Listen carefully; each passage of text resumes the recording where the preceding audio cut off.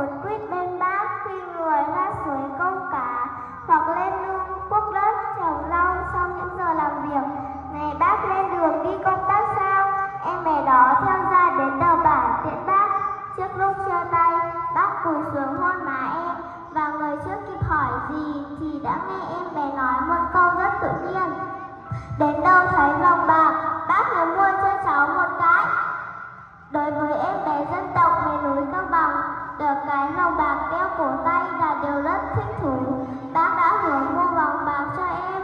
Bây giờ em bé đó đã qua tuổi nhi đồng, chứng chạc, được học, đã biết đọc, biết viết, không còn hoàn vĩnh, nũng nịu như ngày được ở bên bác nữa và chắc cũng không còn nhớ là mình đã dặn bác Hồ mua cho cái vòng bạc.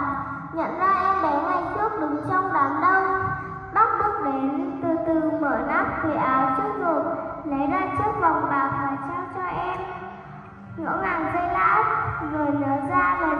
bác hai năm trước.